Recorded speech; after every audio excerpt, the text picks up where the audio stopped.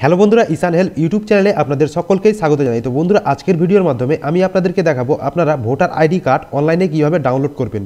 তো বন্ধুরা, আপনারা যারা এই দু হাজার বাইশে নতুন ভোটার কার্ডের জন্য অ্যাপ্লিকেশন করেছেন এবং আপনাদের ভোটার আইডি নাম্বার জেনারেট হয়ে গেছে, অথচ এখনও আপনারা ভোটার কার্ডটি হাতে পাননি তো এখন থেকে আপনারা খুব সহজেই আপনাদের ভোটার কার্ডটি ডাউনলোড করে নিতে পারবেন আপনার হাতে থাকা মোবাইল ফোনের সাহায্যে এবং এই ডাউনলোড করা কপি দিয়ে আপনারা সব ধরনের কাজ করতে পারবেন। তো বন্ধুরা, আপনারা অনলাইনে মোবাইল ফোনের সাহায্যে ভোটার আইডি কার্ড কীভাবে ডাউনলোড করবেন আজকের এই ভিডিওতে আমি আপনাদেরকে স্টেপ বাই স্টেপ দেখাবো। তো বন্ধুরা, তার জন্য অবশ্যই ভিডিওটি প্রথম থেকে শেষ পর্যন্ত দেখবেন এবং আপনি যদি আমাদের এই চ্যানেলের নতুন সদস্য হয়ে থাকেন, তাহলে ভিডিও নিচে যে লাল রঙের সাবস্ক্রাইব বাটনটি রয়েছে, অবশ্যই চ্যানেলটিকে সাবস্ক্রাইব করে পাশে আসা বেল আইকনটি প্রেস করে অল অপশনটি ক্লিক করতে ভুলবেন না।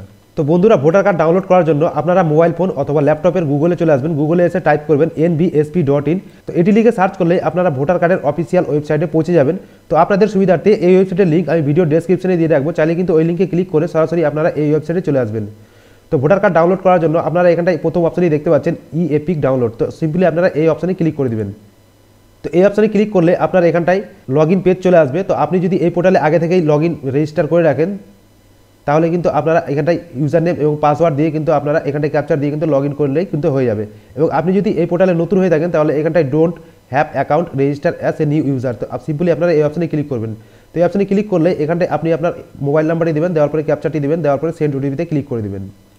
তো সেন্ট ওটিপিতে ক্লিক করলে আপনি যে ফোন নাম্বারটি দিয়েছেন, সেই ফোন নাম্বারে একটি ওটিপি আসবে, সেই ওটিপিটি এখানে দিবেন, দেওয়ার পরে ভেরিফাই ওটিপিতে ক্লিক করে দেবেন। তো ভেরিফাই ওটিপিতে ক্লিক করলে এখান থেকে আপনি আপনার ফার্স্ট নেম দিবেন লাস্ট নেম দিবেন ইমেল আইডি দিবেন। এবং আপনি আপনার পাসওয়ার্ডটি এখান থেকে দিবেন এবং কনফার্ম পাসওয়ার্ডটি দিয়ে রেজিস্টার অপশানে ক্লিক করলেই কিন্তু এই পোর্টালে আপনার রেজিস্ট্রেশন হয়ে যাবে। তো রেজিস্ট্রেশন কমপ্লিট হয়ে গেলে আপনারা সিম্পলি এই লগ ইন অপশানে ক্লিক করে দিবেন। তো লগ ইন অপশানে ক্লিক করলে আপনারা এখান থেকে ইউজার নেম এবং পাসওয়ার্ডটি দিবেন, দেওয়ার পরে ক্যাপচারটি দিবেন, দেওয়ার পরে এখানে লগ ইন অপশানে ক্লিক করে দিবেন। তো লগ ইন অপশানে ক্লিক করলে আপনার সামনে এরকম পেজ চলে আসবে, তো সিম্পলি আপনারা এখানটায় ই এপিক ডাউনলোড এই অপশানে ক্লিক করে দিবেন। তো এই অপশানে ক্লিক করলে এখানটায় আপনি আপনার এপিক নাম্বারটি দিবেন, তো আপনার এখানটায় ভোটার নাম্বারটি দিবেন ভোটার নাম্বারটি দেওয়ার পরে এখান থেকে আপনার যে স্টেট রয়েছে, সেই স্টেটটি এখান থেকে চুজ করবেন। চুজ করার পরে এই সার্চ অপশানে ক্লিক করে দিবেন।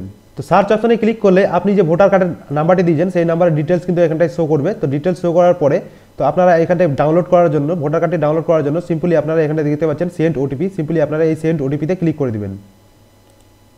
তো সেন্ট ওটিপিতে ক্লিক করলে আপনার যে ভোটার কার্ডের সঙ্গে যে মোবাইল নাম্বারটি দিয়েছিলেন অ্যাপ্লিকেশনের সময়, সেই মোবাইলে কিন্তু একটি ওটিপি আসবে। সেই ওটিপিটি এখানে দিবেন, দেওয়ার পরে ভেরিফাই অপশানে ক্লিক করে দিবেন। তো ভেরিফাই অপশানে ক্লিক করলে আপনার এখানে OTP OTP verification done successfully হয়ে গেছে, অর্থাৎ আপনার ওটিপি কিন্তু ভেরিফিকেশন হয়ে গেছে। এরপর এখানটায় যে ক্যাপচারটি দেখাচ্ছে, সেই ক্যাপচারটি দিবেন, দেওয়ার পরে ডাউনলোড ই এপিক এখানে ক্লিক করে দিবেন। তো এই ডাউনলোড ই এপিকে ক্লিক করলে আপনার যে ভোটার কার্ড সেটি কিন্তু ডাউনলোড হয়ে যাবে। তো এখানে দেখতেই পাচ্ছেন ভোটার কার্ডটি কিন্তু ডাউনলোড হয়ে গেছে। তো বন্ধুরা, এইভাবে আপনারা আপনাদের মোবাইল ফোনের সাহায্যে আপনারা ভোটার কার্ডটি খুব সহজে ডাউনলোড করে নিতে পারবেন। তো বন্ধুরা, ভিডিওটি ভালো লাগলে অবশ্যই ভিডিওটিকে লাইক করবেন বন্ধু বান্ধবদের সঙ্গে হোয়াটসঅ্যাপ ফেসবুকে প্রচুর পরিমাণে শেয়ার করবেন। এবং আপনাদের মনে যদি কোনো প্রশ্ন থাকে, অবশ্যই ভিডিও নিচে কমেন্ট বক্সে কমেন্ট করে জানাতে ভুলবেন না।